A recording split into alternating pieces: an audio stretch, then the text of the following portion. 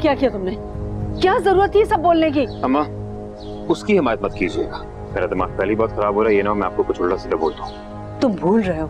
मैं तुम्हारी माँ हूँ। अकल ठिकाने लगा दूँगी तुम्हारी। पता था मुझे पता था कि आपको वही ठीक लगेगी क्योंकि मेरे मुकाबले में कोई भी दूसरा बात करेगा आपको वही ठीक लगेगा। इतने बड़े हो गए हो तुम मगर तुम्हारे बचपन के गिले नहीं गए। देखो बेटा मैं किसी की हिमायत नहीं कर रही। और ना ही ये फैसला कर रही हूँ कि तुम दोनों में से कौन ठीक है। मैं तो सिर्फ़ इतना कह रही हूँ कि तुमने जो कुछ भी बोला बहुत गलत था। और तुम्हारा अंदाज भी बहुत नामनासिब था। जिन हालात में तुमने शिफा से निकाह किया, मुझे वो रज़ी सब कुछ बता चुका है। और जो कुछ समाहिर ने किया, उसका मुझे बहुत सदमा है उसकी तबीयत ऐसी तो नहीं की थी। ना मैंने ना उसकी माँ ने। फिर भी शिफा और समाहर के बीच जो कुछ भी हुआ सो हुआ। मगर अब तो तुमने निकाह कर लिया है तो उसको जताते क्यों महक को तो जब भी पता चलता उसका यही रद्द अमल होता। नहीं अगर ये चुप रहती खामोश रहती तो मामला समझ सकता था। ये तुम्हारी गलत फहमी है। तुम्हें क्या लगता है? तुम महक को सब कुछ बता देती और वो शिफा की मौजूदगी में तुम्हारी दूसरी बीवी बनने को तैयार हो जाती। देखो तकी अब क्या इस बात पर तुम सारी ज़िंदगी शिफा को ताना देते रहोगे कि उससे निकाह करने की वजह से महक तुम्हें छोड़कर चली गई? क्या? शिफा की मौजूदगी सारी ज़िंदगी। आपका क्या ख्याल है? ये शादी में सारी ज़िंदगी निभाऊँगा? ये निकाह मैंने उसका मुश्किल वक्त में साथ देने के लिए किया था। अब आगे वो अपना बंदोबस्त खुद करेगी। क्या? तो आपको क्या लग रहा है अम्मा? इस अजीबो गरीब शादी को मैं सारी ज़िंदगी निभाऊँगा। ना ये लव मैरिज है ना ये अरेंज मैरिज है ना मैं उसे मोहब्बत करता हूँ ना प्यार करता हूँ ना मैं ना मुझे वो बुरी लगती है अम्मा। बस साथ साथ ही तौर पे हम लोग मिले जैसे दो गाड़ी आपस में टकरा जाती हूँ। मेरी प्यारी अम्मा जान इस ख्याल को अपने जहन से निकाल दें क्योंकि हमारा साथ बस यहीं तक था। अरे अपनी तरफ़ से तो तुमने बड़ा एहसान किया था ना निकाह करके। उस बेचारी बच्ची का तो सोचो उसके दिल पर क्या गुजरेगी? जब उसे पता चलेगा कि तुमने तो निकाह से पहले ही फैसला कर लिया था उसे छोड़ देने का। हद है। इससे तो अच्छा था तुम उसका निकाह उस पागल से हो जाने देते। कम अज कम उसे छोड़कर जमाने भर में रुसवा तो ना करता। बेचारी बच्ची। आपकी वो जो बेचारी बच्ची है ना वो भी यही चाहती है। अगर आपको मेरी बात पे यकीन नहीं आता तो जाके उससे पूछ रहे हाँ हाँ ज़ाहिर है। जितनी बकवास तुमने की है और जिस तरह तुम हर वक्त उसे ताना देते रहते हो निकाह का उसकी जगह कोई भी होता तो वो यही सोचता। लेकिन मैं तुम्हें बता रही हूँ तुम ये फजूल ख्याल अपने दिल से निकाल दो। वरना मैं सचमुच तुम्हारी तबीयत सेट कर दूँगी। भला बताओ, क्या हो गया आजकल के बच्चों को? निकाह ना हुआ? गुड्डे गुड़िया का खेल हो गया? हम्म।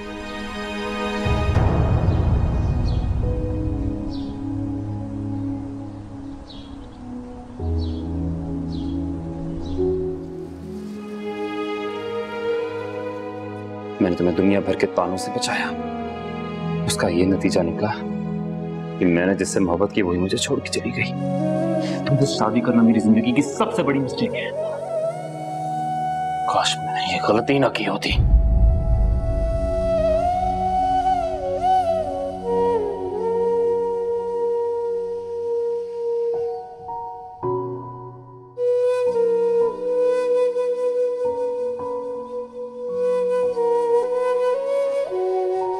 शिफा बेटा रो क्यों रही हो? चुप हो जाओ।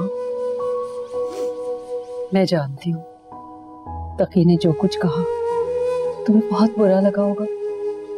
मगर बेटा उसकी आदत है बगैर सोचे समझे बोलना। तुम देखना अभी जब उसका गुस्सा उतरेगा ना तो लगेगा ही नहीं कि अभी उसने इतनी बकवास की थी। मैं अम, मैं आपके लिए चाय बना ली थी लेकिन सामान नहीं है। तुम बिल्कुल फ़िक्र मत करो बेटी। रज़ी गया है अभी तुम्हारी ज़रूरत का सामान लेने। अगर कुछ रह भी गया तो आहिस्ता आहिस्ता आ जाएगा। आप सबीन को भी ले आती। हाँ बेटा उसे भी ले आऊँगी किसी दिन। इस वक्त तो बहुत जल्दी में मैं आई। दरअसल कल तो हम तकी के अब्बा से डरे डरे बैठे थे। उनका मिजाज जरा मुख्तलिफ़ है। पता ही नहीं चलता। कभी बड़ी से बड़ी बात पर कुछ नहीं कहते। और छोटी से छोटी बात पर गुस्सा आ जाता है उन्हें। बताया था सुमार भाभी ने एक दफ़ा। कल मैंने रज़ी के हाथ चुपके से तुम्हें खाना भिजवाया था। मगर वो कहने लगी कि अरे किसी को शिफा का ख्याल है भी कि नहीं? उसको अलग घर लेके देने का ये मतलब नहीं है कि तुम लोग उसे लाताल्लुक ही हो जाओ। उसको ज़रूरत का सामान पहुंचाओ। बस ये सुनकर तो मैं खुश हो गई। फ़ौरन गाड़ी में बैठ के चली आई। बस अभी रज़ी गया तुम्हारी ज़रूरत का सामान लेने। शुक्र है आज उसे दफ्तर देर से जाना था। ऐसे हंसती रहा करो। अच्छी लगती हो।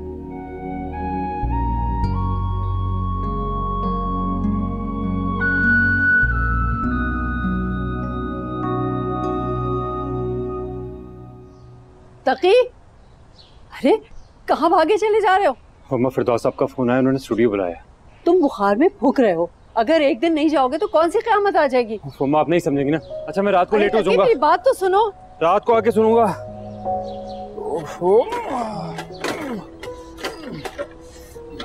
पेट्रोल भी खत्म हुआ है। अच्छा अल्लाह हाफिज। अल्लाह हाफिज। कितना जिद्दी है ये लड़का।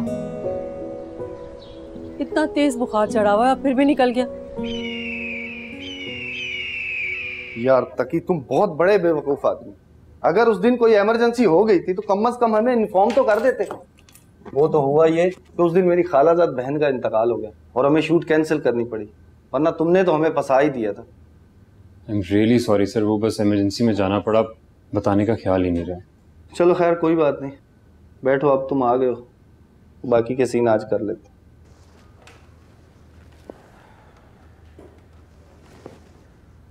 हाँ मुनीब वो एग्रीमेंट बना के ले आओ तकी आ गया मैं अपने न्यू सीरियल का लीड रोल तुम्हें ऑफ़र कर रहा हूँ। रही सर हाँ। स्क्रिप्ट देखो और कॉन्ट्रैक्ट साइन करो।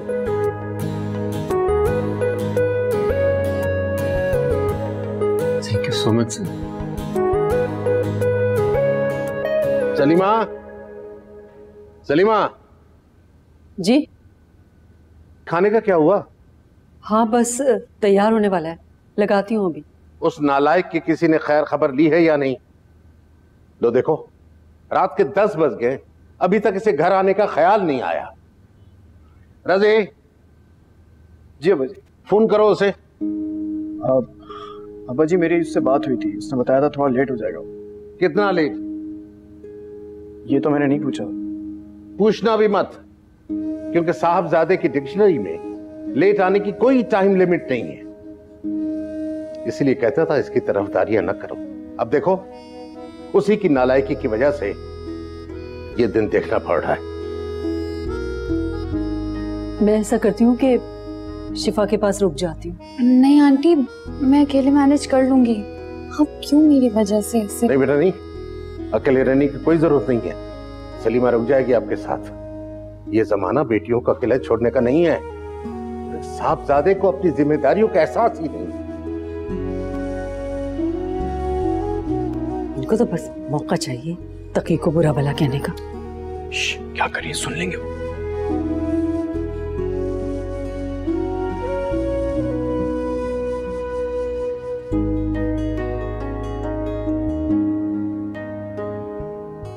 तकी के अब्बा बहुत सख्त मिजाज थे।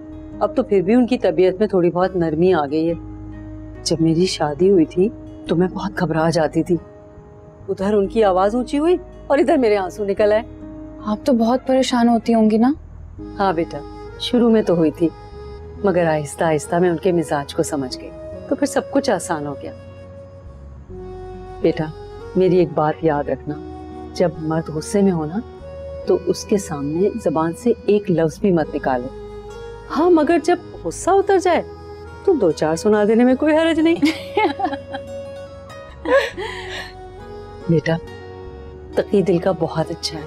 तुम ये मत समझना कि मैं ये इसलिए कह रही हूँ कि मैं उसकी माँ हूँ। कुछ दिन तुम उसके साथ रहोगी तो तुम्हें खुद अंदाज़ा हो जाएगा।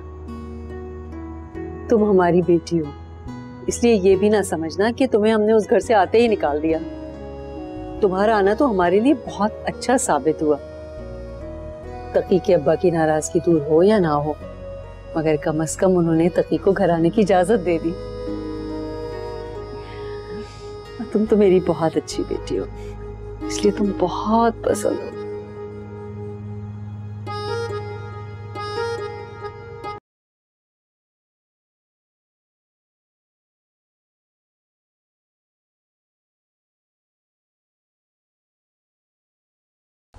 अस्सलाम वालेकुम।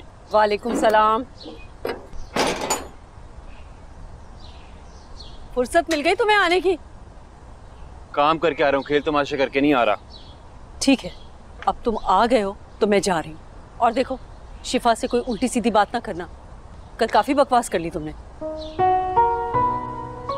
अब आ गई है तो रहें कुछ दिन। फिर चक्कर लगाऊँगी। तो सबीन की तबीयत कुछ ठीक नहीं है। उसे ज़रूरत है मेरी। तुम शिफा का ख्याल रखना। क्यों? वो दूध पीती बच्ची है जो उसका ख्याल रखना पड़े। सारी रात काम करके आया हूँ, देर तक सोऊँगा।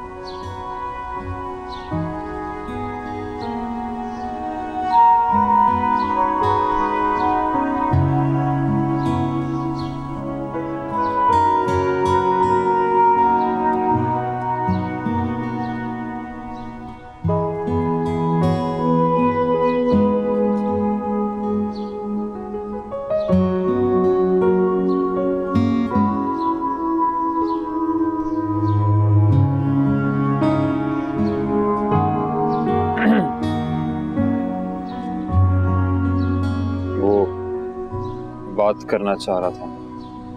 मैं सुन रही हूँ। वो माफ़ी मांगनी थी। मांगो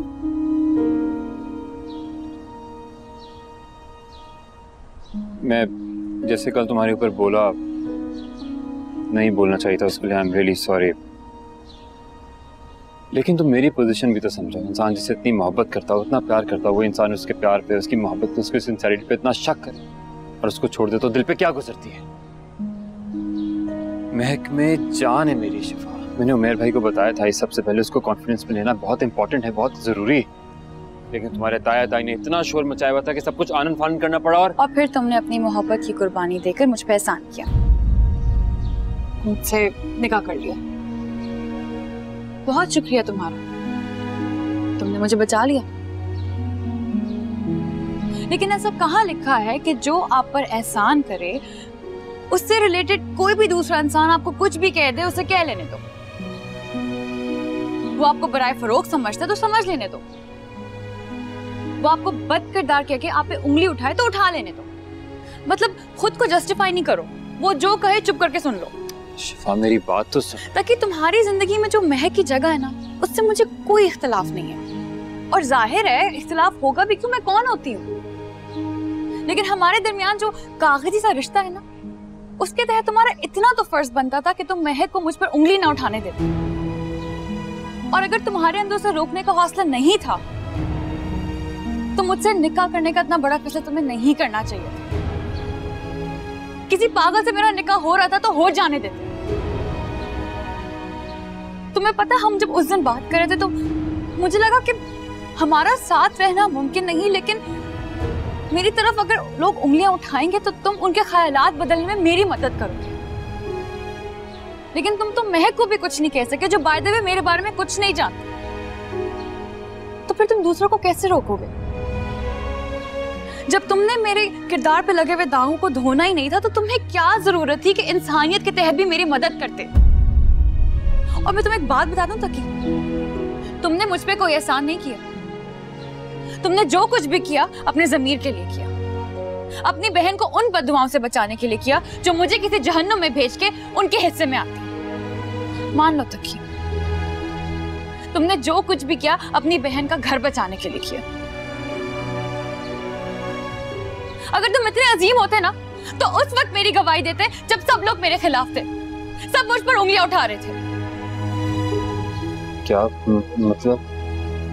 ताकि ये मैं और तुम अच्छे तरीके से जानते हैं कि उस दिन रोहेल भाभी से मिलने आया था। हम दोनों इस चीज़ के गवाह हैं। लेकिन तुम ये सब कैसे जानती हो?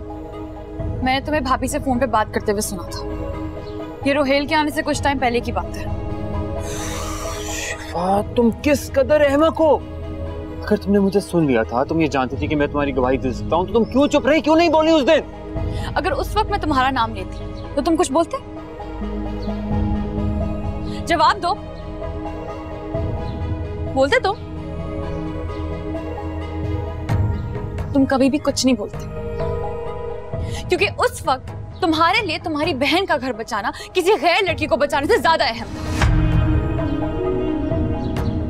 लेकिन अब तुम बोलोगे, क्योंकि तुमने खुद को बचाना है। दुनिया को साबित करना है कि तुम ना हक मारे गए हो। नेकी करके फंस गए हो।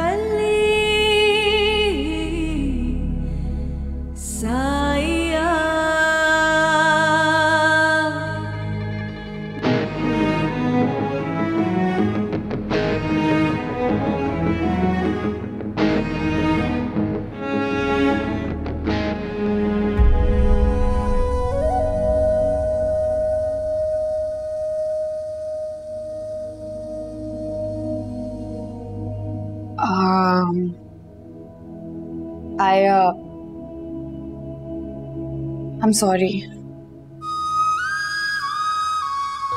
मैं कुछ ज़्यादा ही बोल गई थी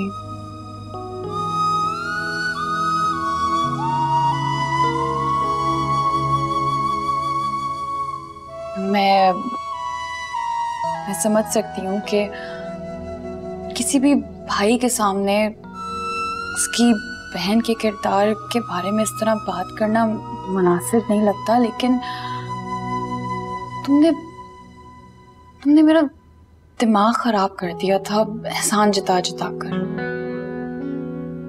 अब देखा जाए तो एक तरह से हिसाब बराबर हो गया ना? अब देखो प्लीज़ अगली बार मेरे सामने अपने किसी भी एहसान का पहाड़ा मत पढ़ना शुरू कर देना। नहीं नहीं। तुम्हें सॉरी बोलने की कोई ज़रूरत नहीं है। आई थिंक तुम सही कह रही थी। मैं ही बहुत सेल्फिश हो गया था। पता नहीं कौन ज़्यादा सेल्फिश हो गया था। ताकि मैं जानती थी कि समायर भाभी, उमेर भाई की नज़रों में मुझे गिराने के लिए मुझे मैनिपुलेट करती थी। एक बार तो उन्होंने झूठ बोलकर मुझे मरी भी भिजवा दिया था। लेकिन मुझे लगा कि मैं उन्हें इतना तंग करती थी। उसके मुकाबले में तो ये कुछ भी नहीं है। मुझे केयरफुल हो जाना चाहिए था, लेकिन मैं नहीं हुई। मुझे अंदाज़ा नहीं था कि उनके दिल में मेरे लिए इतनी नफरत है। इतनी नफरत है कि उन्होंने तुम्हें भी नहीं बख्शा। तुमसे भी बदला ले लिया। खैर, तुम फ़िक्र नहीं करो। मैं महक से खुद बात करूँगी। अच्छी लगी वो मुझे। अच्छी लड़की है। एक मिनट।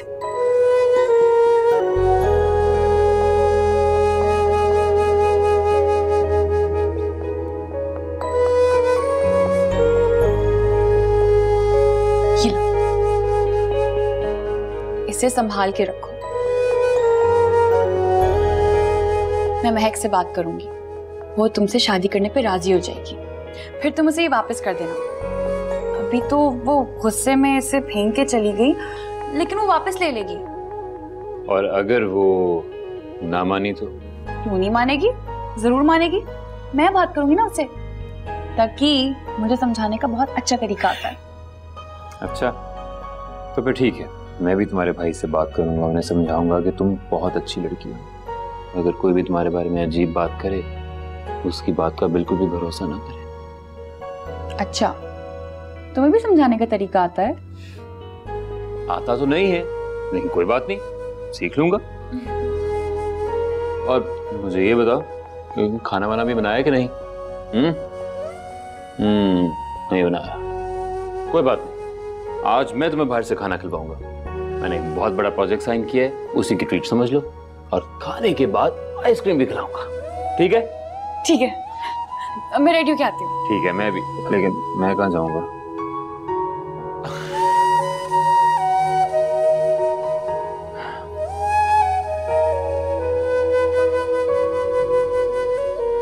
सब क्या है? ओके बताओ। क्यों बुलाया मुझे? बताता हूँ बताता हूँ लेकिन पहले आँखें बंद करो। तकी प्लीज़ अमन यार प्लीज़ ओके गुड गर्ल अब आप अपना हाथ आगे लाइए। प्लीज़ अरे ये लो। now you can open your eyes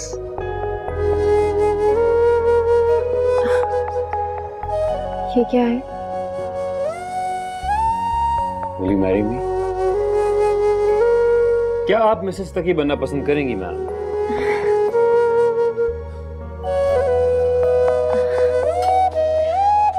actually not a bad idea not a bad idea इधर आओ वापस करो। Smile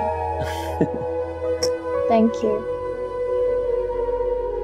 you happy very it's beautiful it is लेकिन तुमसे ज़्यादा नहीं।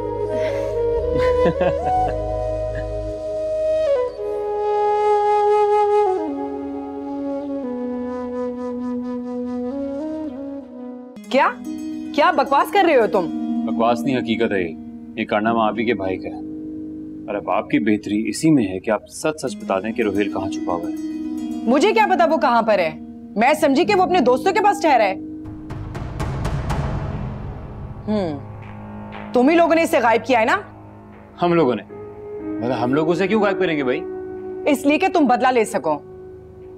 मेरी एक बात कान खोल के सुनना तकी अगर मेरे भाई को कुछ भी हुआ ना तो मैं तुम्हारा और समाज का हशर बुरा कर दूँगी। अच्छा खासा सीधा सादा सा मेरा भाई था। पता नहीं तुम्हारी बहन ने उसके ऊपर क्या पढ़ के फूका है कि हर वक्त समार समार करता है। अब इस काउंटर अटैक का कोई फ़ायदा नहीं है। रोहिल ने मेरी और शिफा की ज़िंदगी बर्बाद कर दी और अगर आपको लग रहा है कि आप ये सब बातें सुनकर मैं उसे छोड़ दूँगा तो गलत फहमी है आपकी। आप लोगों ने उसे जहाँ छुपाना है बिल्कुल छुपाइए लेकिन जिस दिन वो मुझे मिल गया उसका वो हशर करूँगा कि सारी ज़िंदगी याद रखेगा। हशर तो मैं खराब करूँगी वो भी समायर का। इतने सालों की दोस्ती का भी उसने लिहाज नहीं किया? मेरे मना करने के बावजूद शिफा को रोहिल से अटैच करने की कोशिश की। पता नहीं क्या पट्टियाँ पढ़ाई है मेरे भाई को। जो ऐसी हरकतें करने पर वो मजबूर हो गया है। तो आपका भाई क्या दूध पीता बच्चा था? उसे खुद अकल नहीं थी कि क्या कर रहा है? जो भी हो अगर तीन दिन के अंदर अंदर मेरा भाई नहीं मिला ना तो पुलिस में रिपोर्ट करवा दूँगी। और तुम दोनों बहन भाई बैठ के भुगतना। समझे तुम? अरे वशमा आपा अरे वशमा आपा बात तो सुने। एक बात तो तय है। तकी अगर विश्मा आपा बोल रही हैं तो उन्हें वाकई कुछ नहीं पता होगा यार। शायद तू ठीक कह रहे है, लेकिन कहीं ना कहीं से तो पता करना पड़ेगा ना, रोहेल का।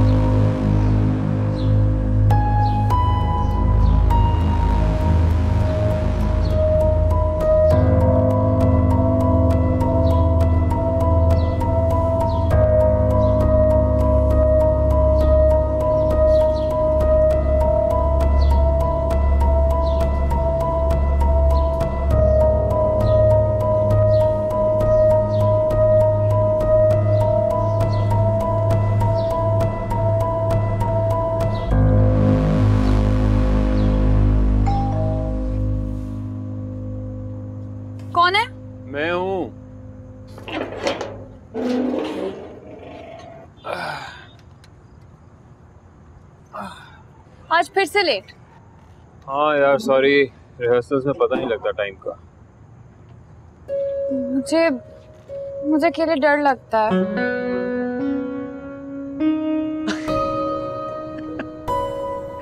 कमाल है। इतनी बड़ी होकर डरती हो। कभी अकेले नहीं रही ना? मेहर भाई मुझे कभी अकेला नहीं छोड़ते थे। अच्छा परेशान मत हो मैं कल से जल्दी आने की कोशिश करूँगा। ठीक है। चाय पियोगे? हाँ जी अगर बन जाएगी तो पी भी लेंगे।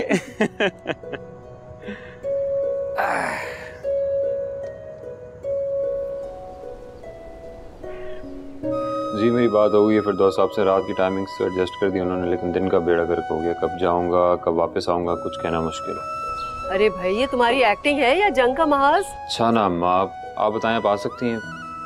शिफा अकेली रहेगी सारे दिन घर पे। आप आ जाएँगी तो सहूलत हो जाएगी मुझे भी टेंशन नहीं होगी। मैं आ तो जाती मगर सबीन की तबीयत आजकल कुछ ठीक नहीं रहती। वहाँ चली गई तो फ़िक्र लगी रहेगी मुझे उसकी। तुम ऐसा करो कि शिफा को यहीं छोड़ जाओ।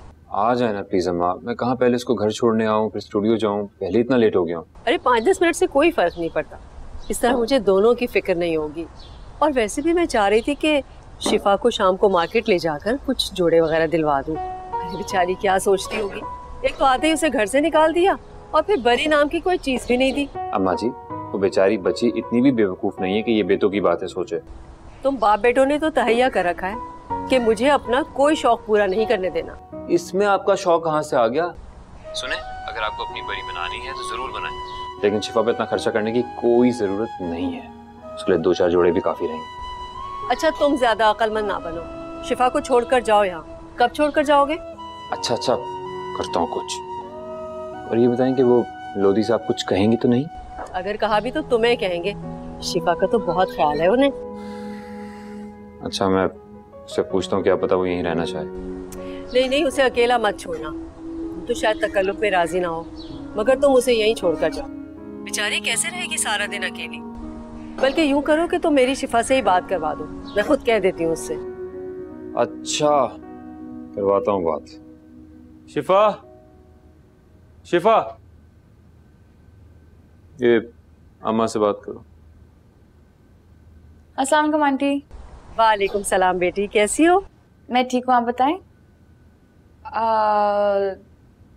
ठीक है। अल्लाह हाफिज। तुम कब तक जाओगे? बस अभी पाँच मिनट में। तुम यहीं रह लोगी या छोड़ दूँ? अकेली क्या करूँगी? आंटी को भी बोल दिया मैंने तो मुझे छोड़ते हुए चले जाओ। बिल्कुल। ठीक मैं आती हूँ।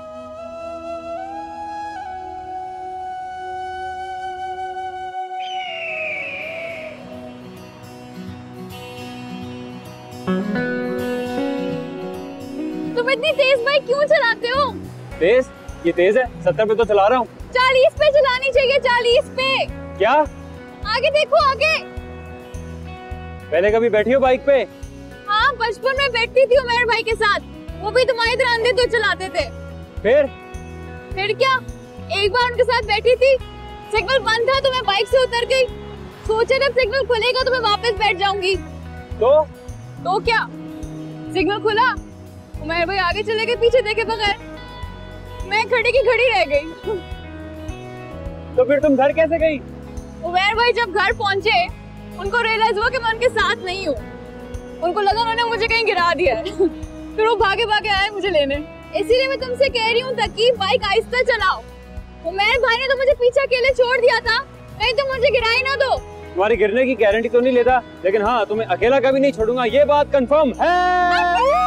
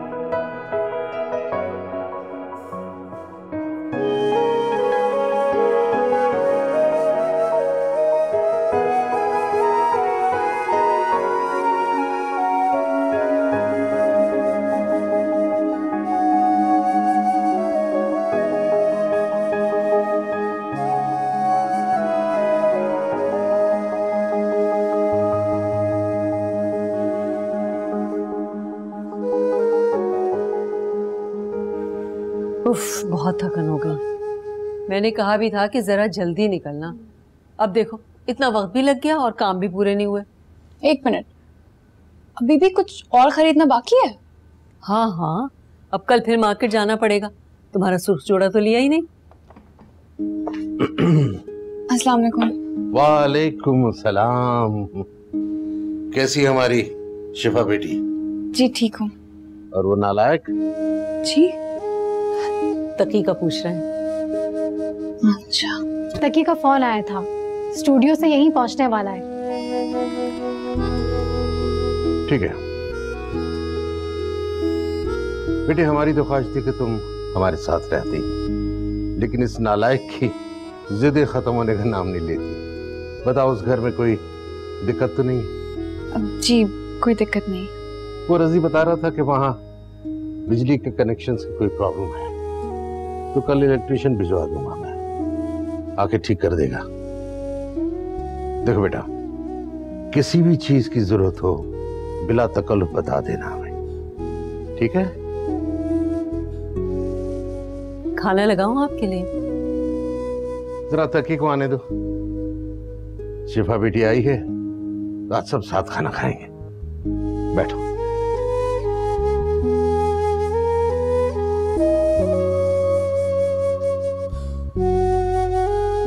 ज़ाहिर नहीं करते मगर इनके दिल में तकी के लिए गुंजाइश पैदा हो रही है। और ये सब तुम्हारी वजह से हुआ है शिफा बेटा। सबीन जी। बेटा ये जो आज हमने कपड़े लिए इनमें से कोई जोड़ा इसे पहना दो और अच्छा सा मेकअप भी करना। अम्मी अम्मी इसकी कोई ज़रूरत नहीं है। जाओ शाबाश। चलो बेटा जाओ। आ जाओ।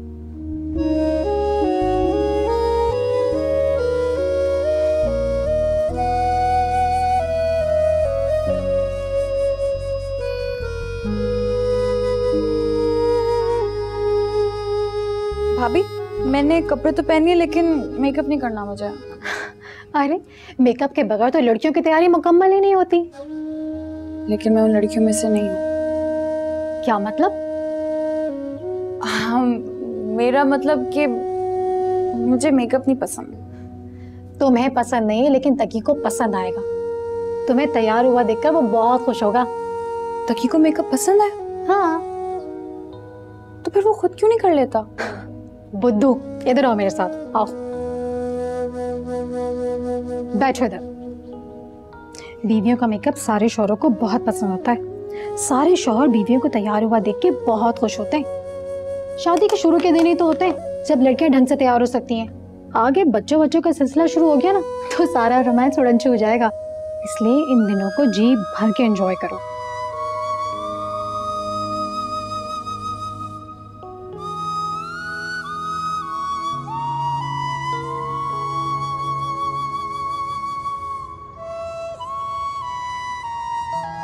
ये लो बेटा। Oh thank you so much अम्मा। वैसे आज खाना अच्छा था। शिफा ने बनाया था बहुत जिद करके। तकी देखो शिफा कैसी लग रही है। क्यों? क्या हुआ इसे? वैसी ही लग रही है जैसी हमेशा लगती है। क्यों? प्लास्टिक सर्जरी करवाई है। अब ज़्यादा बनो मत। पहले इसका इतना अच्छा मेकअप किया और तुम कह रहे हो बिल्कुल पहले जैसी लग रही है। ओहो भाभी फिर तो आपके लिए बुरी खबर है। और वो ये है कि आपको बिल्कुल भी मेकअप करना नहीं आता। ज़्यादा इतराओ नहीं। मुझे पता है तुम इसकी तारीफ़ घर जाके करना चाह रहे हो। तुम्हें पता है ना ये स्पेशली तुम्हारे लिए तैयार हुई है। वाह भाभी माशाल्लाह आप तो बहुत समझदार हो गई हैं है ना? अच्छा अच्छा बस। माशाल्लाह। बहुत प्यारी लग रही है मेरी बहू। आओ, हम उधर बैठ के बातें करें। अच्छा